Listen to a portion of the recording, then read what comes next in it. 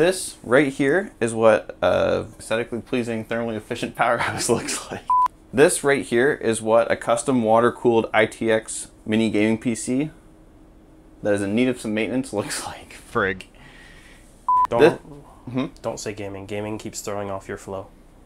Just Okay. say water cooled PC.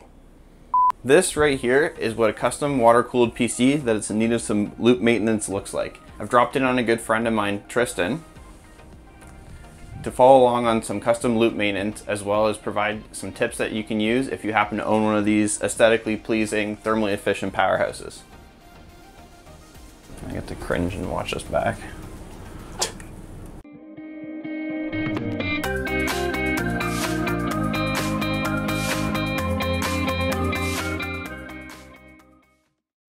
Oops, bumping into you. So this video won't be going over the reasons why you may choose to build a water-cooled system. Uh, that will be reserved for a future video, so get subscribed to see that video when I decide to make it. What I will tell you is why ongoing maintenance in these systems is important, how to physically replace the coolant along with some tips and tricks regarding doing a thorough job. Uh, that will ensure that you'll get the most life out of your new coolant. There are a few main reasons why you need to keep up with replacing coolant in custom water cooled systems. The most critical one is that specially formulated coolants for PC cooling contain anti-corrosion inhibitors and biocides to keep the inner workings of your loop clean, clear, and efficient when it comes to the heat transfer in and out of the fluid, as well as preventing any biological growth such as algae or other gunk from blocking up the tiny passages inside your loop that could block the fluid flow. Another reason why you may consider changing the fluid is if the physical appearance has changed. Maybe you once had like an electric vivid orange coolant and its colors changed over time from the heat and just breaking down. Now it's looking a little more of like a sad dull orange. Or maybe like in Tryston's case, you used the EK Mystic Fog and uh, it used to be a semi-transparent fluid and now it's changed to like more of like a weird clear color. It's no longer giving him the uh, visual effect that he was going for in the first place. So yeah, I uh, I chose the, the Mystic Fog. I still have a little bit left uh, because I got the concentrate and my loop isn't that big, so I have a little bit left over.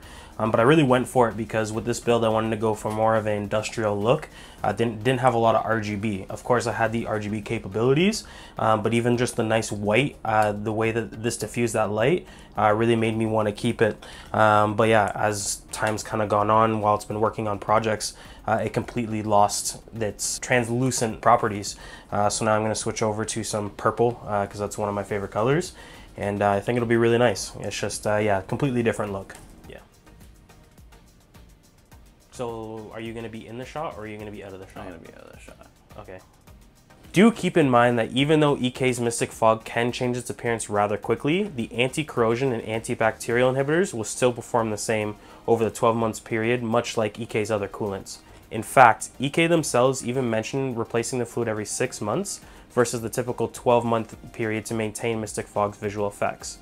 What we think has happened is when the Mystic Fog turns clear, the light dispersing particles in this fluid end up sticking to the hottest surfaces in the loop, such as the CPU and GPU blocks. Once we open it up here in a minute, we'll see if that's true. This should be more apparent in my system due to the dense nature of an ITX system, combined with high powered hardware and very demanding workloads, it has likely accelerated this process, leading to increased transparency in the coolant.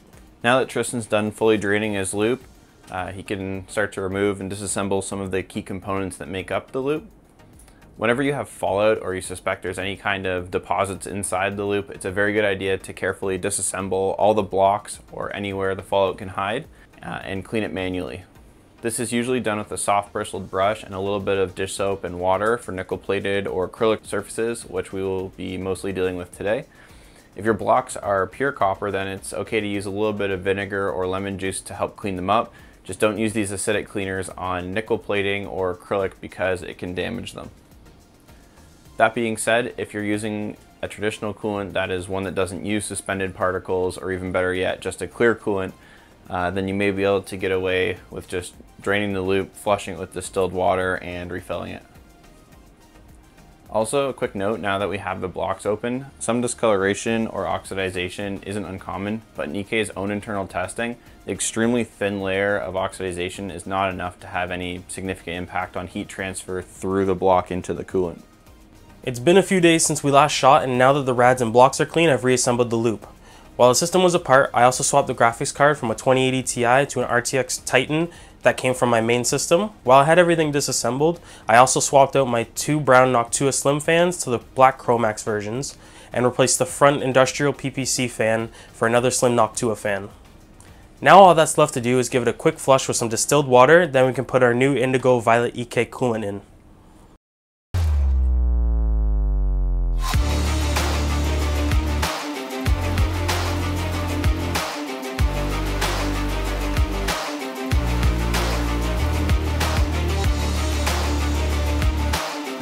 Put our new Indigo Violet EK coolant